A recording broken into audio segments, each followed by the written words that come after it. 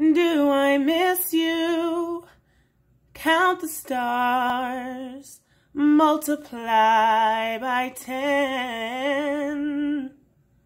Course I do, more than now and then. I could paint a rainbow, shine a sky, set the stars in space. Faster than I could explain how I miss your face to the rainbow's end is where I would go, my friend. I do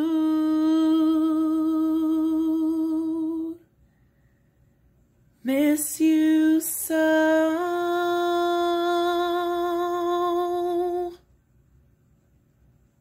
Hello, fellow fellows and fellow educators.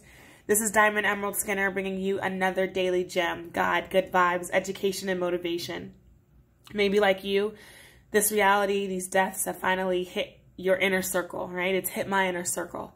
And I'm not only missing my kids, right? But I'm also missing friends, family members that I've lost to this virus.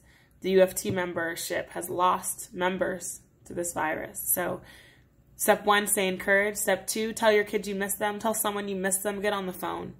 And step three, fear not and shine bright. Have a wonderful Tuesday, educators.